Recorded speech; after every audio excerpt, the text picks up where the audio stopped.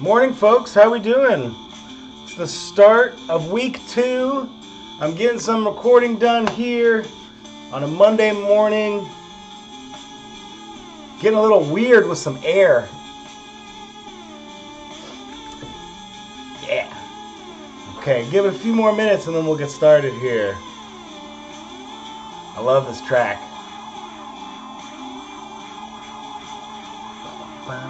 Hope you all, your weekend went well. You got your homework done. I saw a lot of you got that. Okay. I could jam out to this all day, but it's time to get it going. All right, folks. So we're getting into this chapter two here.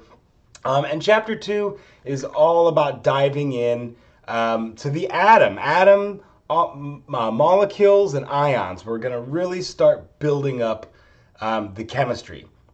And I'm going to start this chapter by telling you a story of a number of scientists um, whose discoveries all led to understanding the structure of an atom. And so the first person I want to talk about is J.J. Uh, Thomson. So let me make this a little bit thicker. So now you can see that I've got names and years and stuff. I'm not going to make you like memorize names and years and where all these people are from and what they did. This is more for your own interest. Um, but I'll review the learning goals here momentarily. Um, and what I do want you to understand is the structure of the atom. Um, so J.J. Thomson um, gave us the famous uh, cathode ray tube experiment. And so the way this experiment went, um, he had this evacuated tube.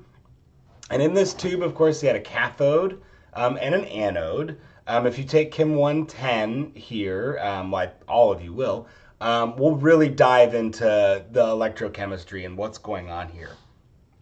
But you have a high voltage source, basically a battery, okay? Um, and when you put a, a, negative charge on the cathode and a positive charge on this anode, you're separating the charges.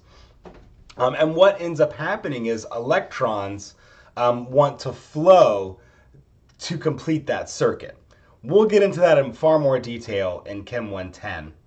But any event, this ends up creating, um, effectively, it's an electron gun, is what it is, okay? So these electrons fired out of this anode here, and behind uh, this, what you see here, this phosphorescent um, coating. So what that allowed um, J.J. Thomson to do was to view the beam of electrons. You couldn't see them; they'd be invisible to the eye. Um, but under this phosphor screen, they light up, they glow when they hit that phosphor screen. Um, much like when you have, uh, when you turn a black light on and you see like your fluorescent or your phosphorescent um, clothing, okay? And so what J.J. Thomson noticed when he put um, magnets um, on either side of the electron beam, he could get that electron beam to curve into the magnetic field, okay?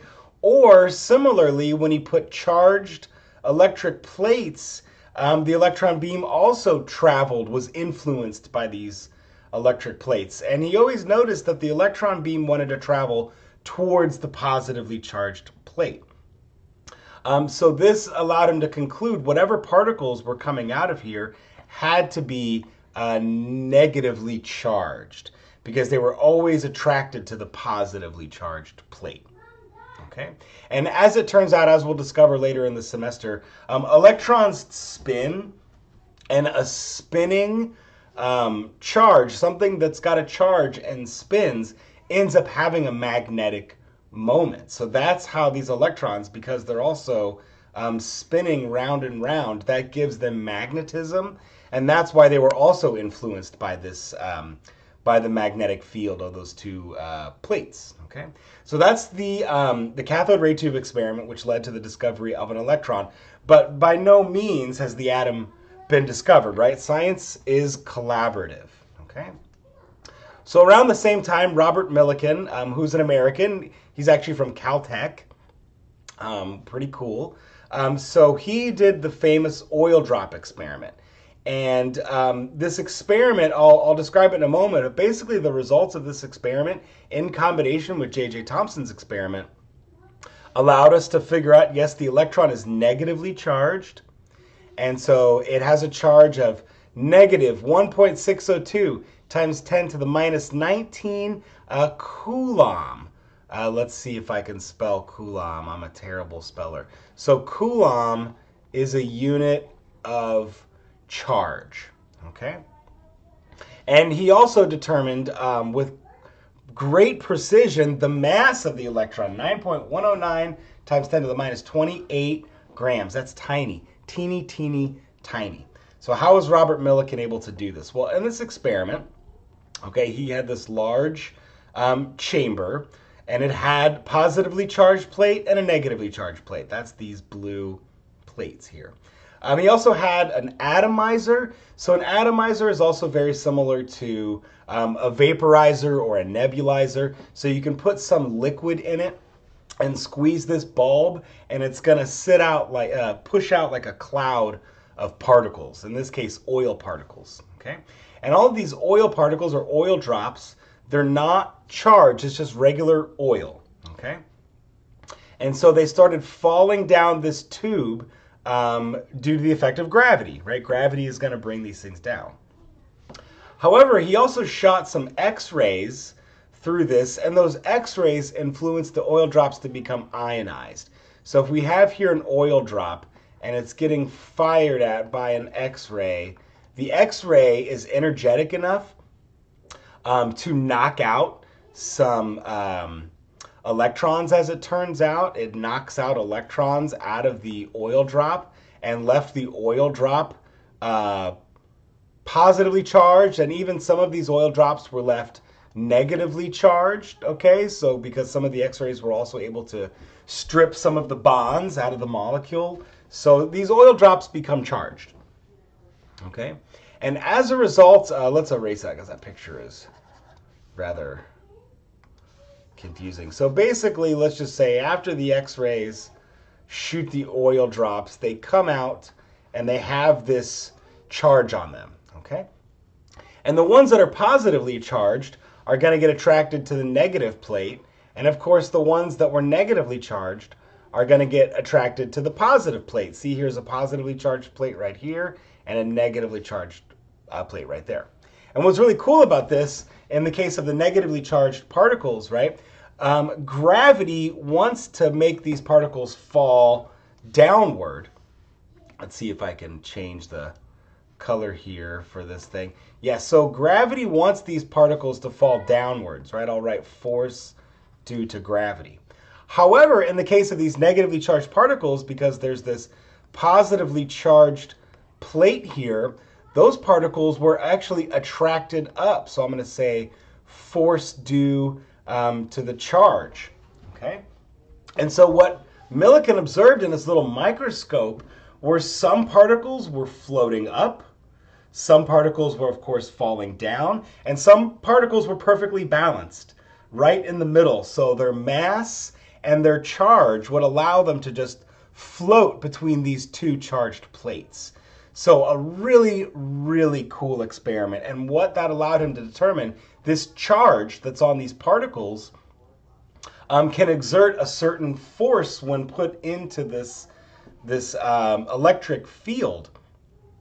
And that allowed him to determine what the charge and mass of the electron was in combination with J.J. Thomson's experiment. So J.J. Thomson was able to figure out what I'm going to call the mass to charge uh, ratio. So based on how much these particles were curving and deflecting, he could figure out what the mass to charge ratio was.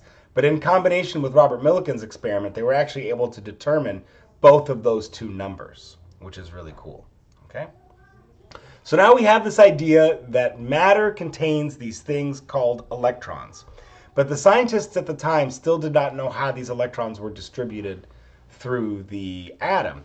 So then J.J. Thomson, um, so he was uh, British, okay, and so he gave an analogy of plum pudding. Um, plum pudding is not uh, pudding. Plum pudding is raisin bread. Um, it's a, you know, it's a British thing. Raisin bread. Don't ask me why. I'm not from England. Uh, but anyways, here's plum pudding. And so in plum pudding, you have these raisins like all distributed out through the bread, right? So J.J. Thomson thought that the atom was all this positively charged stuff. So positive charges distributed throughout a spherical atom, and all like the little raisins, if you will, were the electrons. Okay? Kind of randomly spread out through the atom. Okay? As we know now, that's not correct, but it's not a bad first guess because he's basing this, you know, off of um, his observations, right? We talked about the scientific method last week. Um, so he got a set of observations and is trying to use um, that hypothesis motivated uh, science to describe what's happening. Okay. So then comes along Mary Curie. Okay. And with her husband Pierre and another gentleman named Henri Becquerel, um, they famously said, Gentlemen, you have misunderstood the atom. Okay? Um, and I'm not going to spend a whole lot of time talking about Mary Curie right now because in Chem 110, we're going to talk about um, radioactivity and radiation, and we'll get into a ton of detail. But you should totally check out this movie. I think it's on Amazon Prime. Okay. There is a brand new movie. My wife and I actually just watched this the other day. That's all that that describes Mary Curie and her life's work. Um, so cool. I thought it was such a cool movie. You should totally watch it. Um, so in the movie, they show um, famously how she was able to discover um, two new elements, plutonium and radium, um, by using this material called pitchblende or uranite. Um, they had to go through tons and tons and tons of pitchblende, and of course, watching them do their work you know, makes you cringe because they're holding like these samples of polonium and radium, and they had no idea just how toxic that stuff was, and they're just holding it like sleeping with it in bed, like these little glowing containers. Um, so watch the movie about Marie Curie on Amazon Prime. It's really cool. But famously, she and um, and her colleagues were able to show how people had completely misunderstood the structure of the atom. Okay.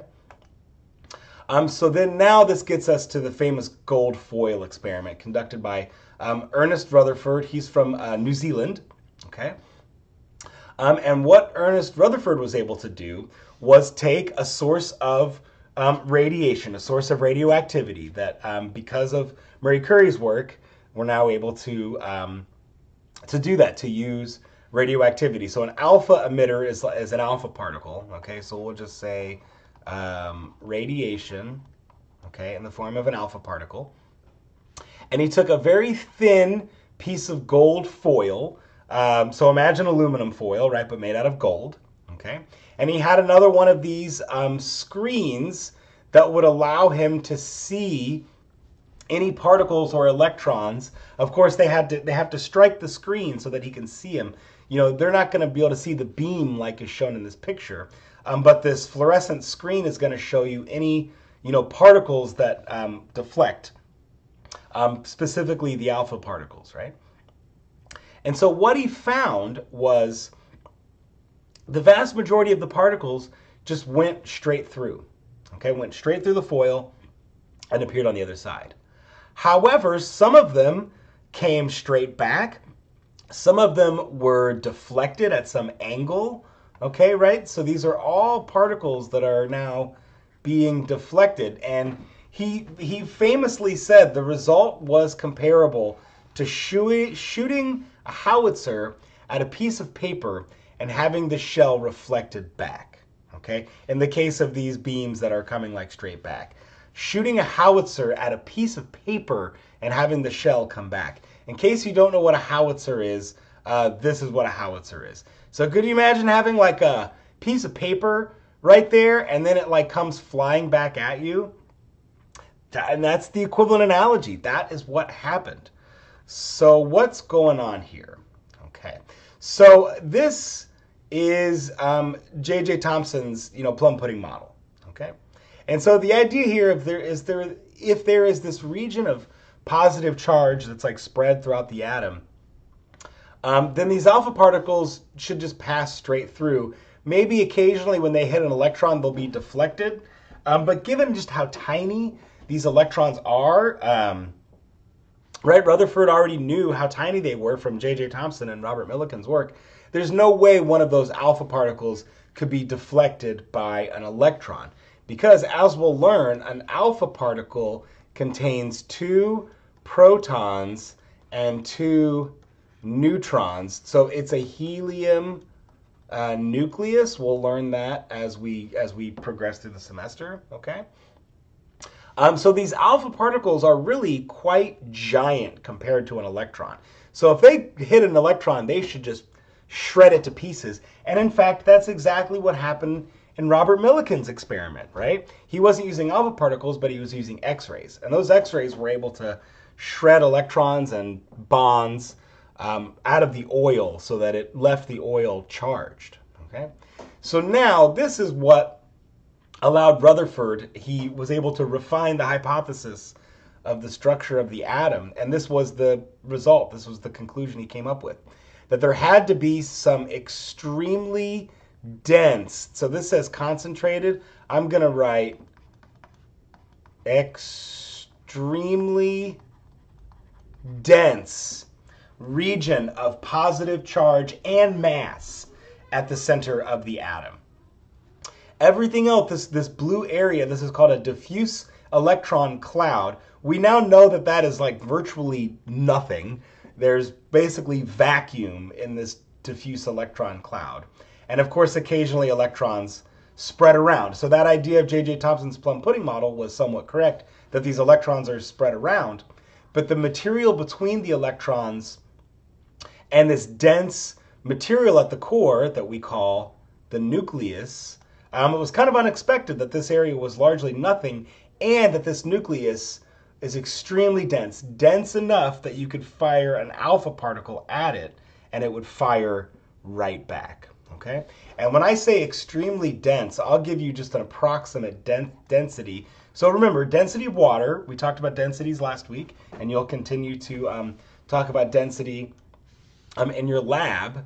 Okay, so the density of the nucleus, if you could take a bunch of protons and neutrons and distill them down, okay, it's about 10 to the positive 15 grams per milliliter or grams per cubic centimeter.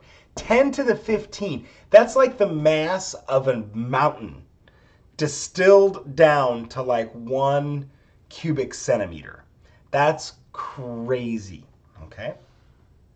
So, what we have here, what we learned from J.J. Thomson, Robert Millikan, Ernest Rutherford, and Marie Curie, okay? All of their results, okay, all of their results combined helped us. That, for one, atoms are mostly empty space. This diffuse electron cloud is mostly empty space. There is an extremely dense and massive core in the middle, okay? and that makes up the vast majority of the mass of the atom. So for example here, if we look at the masses of the electrons now, so here in unit of kilograms, okay, um, 9 times 10 to the minus 31. It's crazy small. Protons and neutrons to the minus 27. That's still extremely small. But consider the difference between these, right? This is a factor of 10,000 times. So the protons and the neutrons are 10,000 times more massive than the electron. And so the vast majority of the mass of an atom is in the nucleus, in the protons and the neutrons. Okay? And then the charge, they were able to discover, right, the electron is negative one, the proton is positive one. So when we write charge in chemistry, just to not confuse negative numbers, you'll see us write the sign on the right side instead of the left. You're probably used to seeing this. You know, that means, um, let's just be clear, negative 1 as like the number. Okay, this is negative 1 charge. Okay, we write it that way just so we know we're not talking about negative numbers, we're talking about the charge. But now look at this little asterisk right here. The magnitude and charge of the electron and proton is. So that means the electron is negative 1.60 times 10 to the minus 19 coulomb. That's a very, very small number, okay? And then the proton is positive 1.60 times 10 to the minus 19 coulomb. And what we do, and so now I put the negative sign because that negative sign is in reference to that C for coulomb, okay? So now what we do in chemistry, we say this is all equivalent to 1 minus. And we say this is all equivalent to 1 plus. So in this class, when you see us write 1 minus and 1 plus, or even 2 plus, 3 plus, 4 minus, it's really this number, you know, times 2 or 3 or 4, whatever the number is? You don't have to memorize numbers. I'll always give you numbers, but recognize that the the charge of a single electron, single solitary electron is a tiny tiny number, okay? Of course, if we have a lot of electrons, like billions and trillions of electrons, then we would have quite a lot of charge. Okay, so we're going to build that up here as we go. Okay, so now um, here's a cool analogy for you for the structure of the atom. Okay, so the size of an atom is roughly 10 to the minus 8 centimeters. That's tiny. That's 1 over 10 billion centimeters right? It's really, really tiny. And that's the size of like the whole atom itself, right? Where keep in mind, this is mostly nothing, right? Some diffuse electron cloud. However, in the center, there's that really dense and massive nucleus. And it's about 10 to the minus 13 centimeters. So that's 1 over uh, let's see here. That's going to be um, 1 over 10 trillion. Excuse me, that's not 10 trillion. You get the idea. I can't think right now off the top of my head. It's crazy small. It's crazy, crazy small. So the difference between 5 and 8, that's a factor of 100,000 times smaller. So the nucleus is 100,000 times smaller than the atom itself. So here's an equivalent analogy. Okay. Here is where we would be sitting if classes were, you know, back to normal, face to face. There's HSU's campus in Arcata. All right. And all the way up about 35 miles away is the entrance to Redwood National Park. Beautiful. When you get up here, if you're not up here yet, it's absolutely stunning. You got to make this drive up the coast Beautiful drive. Get all the way up here. You pass the lagoons. You get into the entrance to the park. It's just gorgeous. Okay. So that's a 35 mile drive. Now imagine if I took a basketball that's roughly 30 inches and I placed that basketball in the middle of the highway on this stretch of road 35 miles. Okay. Now imagine I made a radius, or excuse me, I made a, a diameter out of that road, right? 35 miles as my diameter, so some crazy large circumference that goes way out into the ocean, and so on. This would be our relative scale of the atom. If the basketball were the nucleus, okay, then that means that the size of the atom would span from HSU all the way up to the redwoods, and all of this stuff in between would be nothing. It would be vacuum. All of that ocean, all of the mountains, all of these redwoods, all of you people, if you're in this circle, it would be nothing if the nucleus were the size of a basketball. Pretty amazing. Another equivalent analogy is if you took a marble, I don't have one right here, but imagine like a regular old marble, glass marble, and we put it in the middle of a football stadium the entire football stadium, like you know something like professional sized football stadium, like not Redwood Park, or, uh, the Redwood Bowl, but like some huge big ass stadium. Okay, so that would be the size of the atom if the nucleus were the size of a marble that we put in the center. And of course, that football stadium, it'd be all vacuum, right? Nothing is in it. Amazing, just how truly how much empty space there is in an atom. And if you think about it, the entire universe is made up of atoms, right? This table, me, the air I'm breathing. And atoms are mostly empty space. So what does that tell us about the universe? It's kind of sad, but I think it's kind of beautiful. The universe is mostly empty. That is true, that is factual. Even this solid table is mostly empty space. It's amazing, right? Completely amazing. Okay, oh, yes! Black Lives Matter. Okay, so finally, let me back up. So sorry, I, I forgot the slide was coming up. Um, I forgot what order it was in. Okay, so just to summarize. Okay, what we learned from J.J. Thomson, Robert Millikan, and Ernest Rutherford and Marie Curie. Okay, we learned the structure of the atom. Here we go, right here. Understand the Rutherford model and the structure of the atom and its basic components.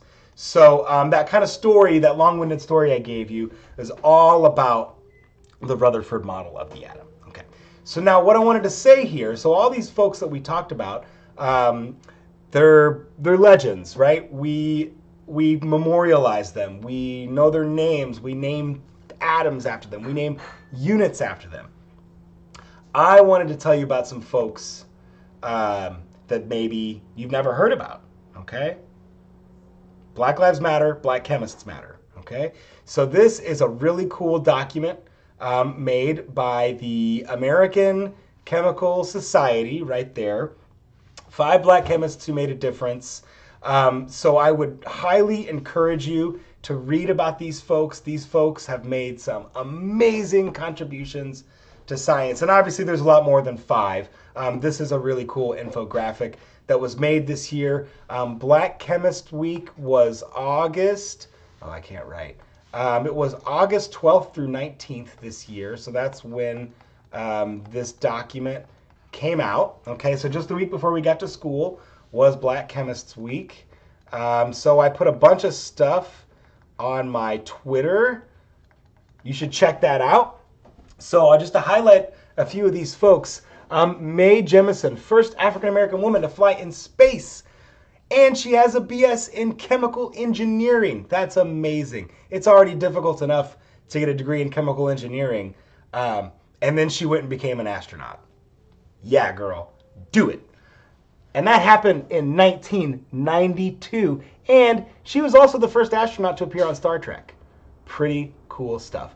Um, and then uh, one more person I'll point out from this list George Washington Carver. He was born a slave and died a PhD scientist.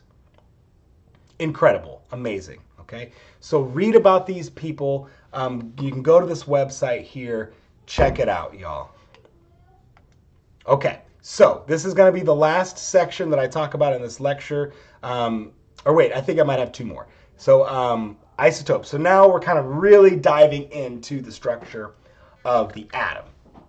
Okay, so we know the nucleus is where all the mass is. The nucleus is made up of protons and neutrons. All this red stuff that you see right here, I'm going to write electron cloud. And really that's like a diffuse electron cloud, but we recognize, right, that there's electrons kind of like spread out all over here. Well, can I do 11 spots? 1, 2, 3, 4, 5, 6, 7, 8, 9, 10, 11. There's 11 electrons. Okay, so we're going to use sodium as an example here. All right. And um, as it turns out, as um, these folks discovered, there are different flavors of atoms. So I'm going to say isotopes, and I like to call that a different flavor of an atom. And it's all about the neutrons, the protons and the neutrons. That's what makes the atom unique. The electrons certainly are important. The electrons are what drive chemistry. But it's really the ratio of protons and neutrons in the nucleus that make an atom unique. Okay? So for example, here is sodium 23. What is that 23? That 23 is the mass number, and it goes in the upper left superscript. Okay? That number 23 is the number of protons and neutrons. So 11 plus 12 equals 23. Okay? Because the mass is all in the protons and the neutrons. So when we talk about sodium 23, it's really its mass is a result of having 23 of those things. Okay?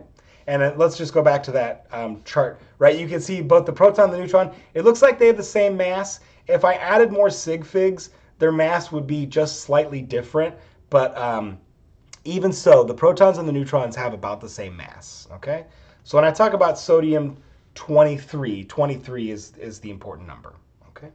So then now what about this number down here? Well, that's the atomic number, and that number of protons, that's what makes it a unique atom, okay? So we can refine this statement I made about flavors just a little bit. The neutrons are what give it its unique flavor.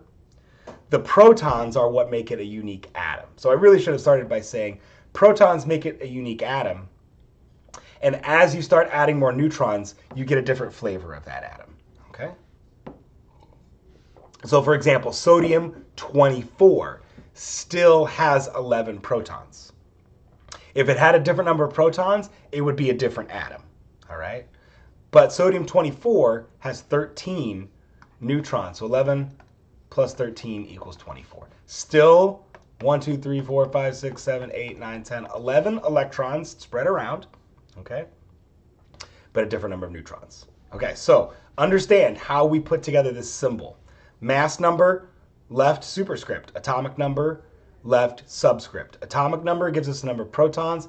Mass number gives us the number of um, protons plus neutrons. We don't have a number here telling us how many neutrons. So what we need to do is say 23 minus 11. So that means it would have to have 12 neutrons. Similarly with sodium 24, 24 minus 11, 24 minus 11 gives me 13 neutrons. Okay, real quick, let's, oops, let's see here. Be familiar with the isotope and how to distinguish them using mass number, atomic number, and atomic symbols. Oops, let's see. Let me highlight as we're going. Yeah, there's the highlight button. So we talked about the Rutherford model. We just talked about isotopes, how to distinguish them using mass number, atomic number, and atomic symbols. I'm going to spend a little more time with this, with the isotopes, okay? So, let's see. Let's back up for a second. And now I'm going to take this, this notion, all right, that our atoms are unique. They're based on the number of protons. Add a different number of protons, and you have a different atom. Add a different number of neutrons, and you have a different flavor of that same atom. Okay? So if we want to know now how many atoms we have, remember these things are tiny. They're so tiny. We're never going to be able to mass them individually. But we can mask them with a collection. Okay? Or vice versa, if we want to know how many that we have, how many atoms we have, we can count them by weighing. Okay? So for example, suppose we go to the fair. Oh, and I was so looking forward to the Humboldt County Fair this year. Damn Rona. Okay. Anyways, so you go to that little game, right, where the guy's like, how many jelly beans do I have in this jar? And you try to guess, and if you guess right, you get all the jelly beans. Okay? So obviously, you all are intelligent enough people to know it would be impossible to count all of these jelly beans. And imagine now, just for a second, they're not jelly beans, but they're atoms. It would be especially impossible to do that. Okay? But suppose we get our hand on one of them, maybe 10 of them even, and we weigh them. We take an average, right? Look, here's our average. One mass was 5.1, 5.2. Oops, I should have said 5.0, right? So we have the same level of precision for each measurement, okay? And we get an average that is 5.0. So then when the guy's not looking, we weigh the entire jar and not including the mass of the jar itself, right? But we say that the jar is 5.54 kilograms. So that's now 5.45 kilograms Oops, wait a second. Let me, um, yeah, we can do it like this. Okay.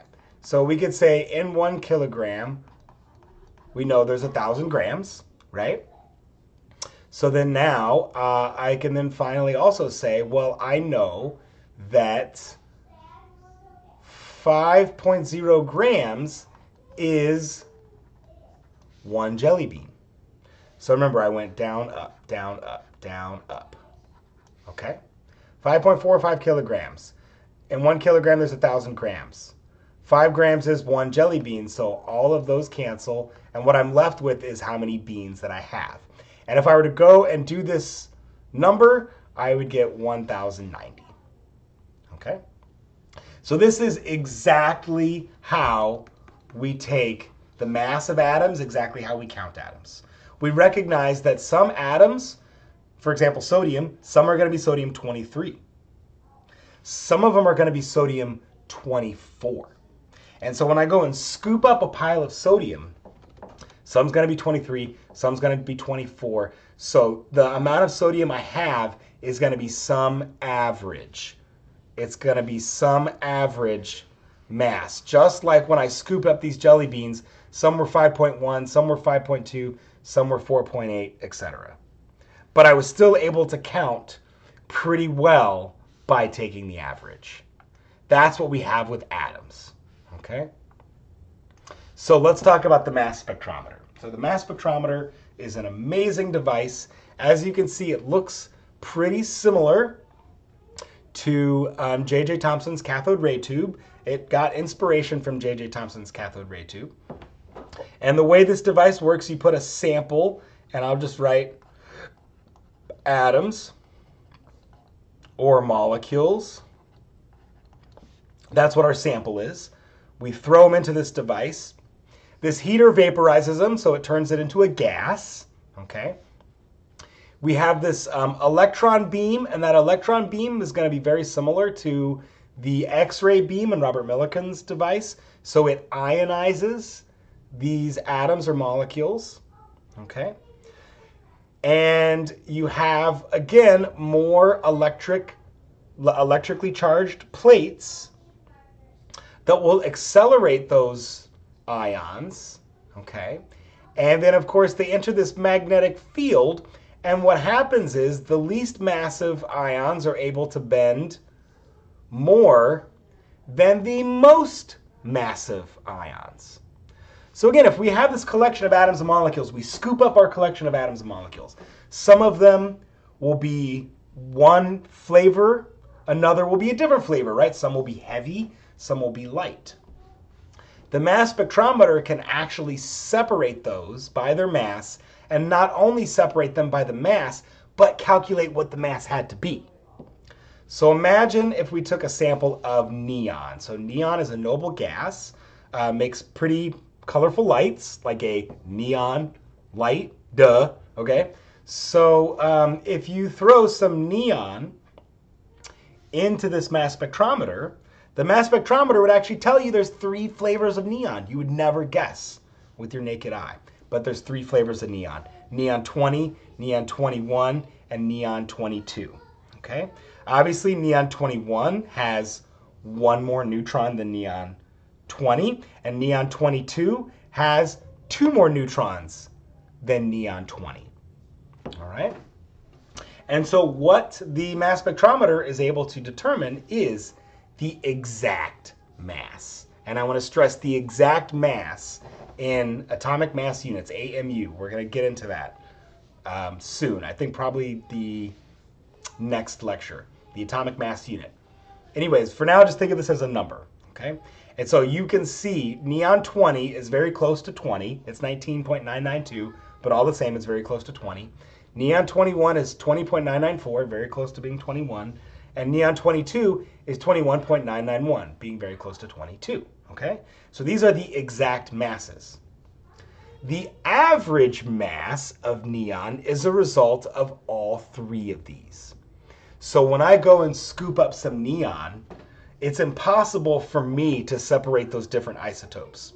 So the amount of neon I have would be based on some average. It would be like this number right here even though I know some of them I've scooped up are 20, 21, or 22, just like the jelly beans. Some of them I've scooped up are 5.2, 4.8, etc. Okay?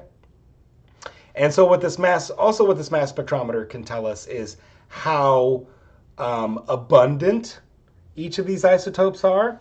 And so it would determine that um, neon 20 is by far the most abundant based on the size of this peak. So in other words, um, this detector plate right here would be getting um, hit by neon 20s on average more than neon 21 or 22. So you can think of this as like counts, this peak, like how many times that particular mass has hit the detector. And so that's what we call the natural abundance. So neon 20 is 90.6 natural abundance. All right? You don't have to memorize these numbers because we can find them on the periodic table. So this is the last um, little bit that I'm going to talk about, okay? And then I'll end this lecture because I think this has been going on for a little bit, all right? So let's talk about average and exact masses. So we've talked about exact masses, right? That's what this whole thing is about. So what's the average mass? Okay. Well, the average mass is the average of all of the exact masses. Okay, not too not too bad. Okay. And as it turns out, okay, our atomic masses, the AMU, are entirely based off of carbon 12, carbon flavor 12. I don't know if you knew that or not, but we've based the entire periodic table of masses off of carbon flavor 12. Okay? So we just we, we have to set the scale somewhere, right? So we say carbon 12 is exactly 12 AMU. We also call this Dalton's for the name of the scientist, John Dalton. Okay? So you can say 12 uh, Dalton, 12 Daltons, and that equals 12 AMU. So as it turns out, in the original like you know setting up of all these masses and the original like programming of the first mass spectrometers, you had to give it some type of known mass. So that's called calibrating. So we had to calibrate the mass spectrometers somehow. So all mass spectrometers in the periodic table has been calibrated off of carbon 12. Okay? And so now what you're able to do based on how much the light particle separates from the heavy particle, and if you're having a hard time understanding this analogy, just imagine like you're you're you know driving in a race car and you're going around some turn and you're in some super light car, like maybe a Honda Civic, and somebody else is in like a massive truck, and you're both going the same speed. Just imagine like both people throwing the wheel and how easy it would be for the Honda Civic to make that sharp turn versus like the big massive truck. Okay, and doing a lot of physics and calculus and math, you can then say, well, what had to be the mass difference between those? um, based on that deflection. Okay? So, for example, if you wanted to know well, how much does a carbon 13 weigh, so what the mass spectrometer actually does is take the ratio. Okay? So now if I say the mass of a carbon 13 divided by the mass of carbon 12 turns out to be 1.0836129 and the precision is just being on and on and on and on and on and on and on. Okay? Always updated to have more and more and more precision. So that means through algebra, because we know the mass of carbon 12 has to be exactly 12. So if this is exactly 12, and I mean like no sig figs, like exactly 12, then we can do algebra, right? Multiply both sides by 12, and then you separate uh, uh, carbon 13, and thus the mass of carbon 13 has to be 13.003355 AMU. That is the exact mass of carbon 13. The exact mass of carbon 12 is exactly 12. Okay, so then how do we get the average mass? Okay, one last slide for this lecture. It's a calculation, all right? So here's how this is going to go. We also know from the mass spectrometer that the natural abundance of carbon 12 is 98.89%. So it's the vast majority of carbon is carbon 12. About 1% is carbon 13. And actually, a fraction of a fraction of a percent is carbon 14. Okay, I'm not going to talk about it on the slide. Um, carbon 14 um, is radioactive, and it what it's what allows us to do radiocarbon dating. Okay, so we'll talk more about that in Chem 110. So for now, um, we'll say ignore carbon 14, but let's talk about carbon 13. Okay, so based on the following data, calculate the average mass of a sample of carbon. So how do we do that? Well, if my natural, here's my natural abundance, and I'll just remind you that I can write a percentage by dividing by 100, right? I can go 1, 2, and I can go 1, 2. So I can say 0.9889, and here I can say 0.0111. Okay, so pay attention. I want you to know how to do this calculation. Okay? We get the average mass of a sample of carbon. I'm going to write um, uh, just mass of carbon. Okay? I'll just say a C for now, and I'll put brackets. That means average. Okay? So it's going to be the natural abundance times the mass plus the natural abundance times the mass. Okay? So I don't have a, a formula for you, but this is how it's going to go. It's going to go 0.9889 times exactly 12. And so here, because we're not worried about the sig figs here, from here we have 1, 2, 3, 4 sig figs. Okay? Plus 0.0111 times 13.00335. And we're going to use all of these sig figs, excuse me, units, right? This is an AMU unit and this is an AMU unit, okay? And so now when I go and do this calculation, okay, four sig figs here, so I get 11.87 AMU. When I take 12 times this, and then 1, 2, 3 sig figs here, I get 0.144 AMU here. But now check it out. I'm adding two numbers, right? And I've got two decimal places and three decimal places. So my final answer is going to have two decimal places. Okay, so that gives me 12.01 AMU. And if we go to the periodic table, let's find a periodic table real quick. Let me find a better one. Oh no, do I have one in here? Uh, wah, wah, wah. I don't have a good periodic table in here. So if we were to look, so there's a periodic table in the lecture hall, but we're not in the lecture hall. Anyways, uh, if we were to look at a periodic table, I got one around here somewhere.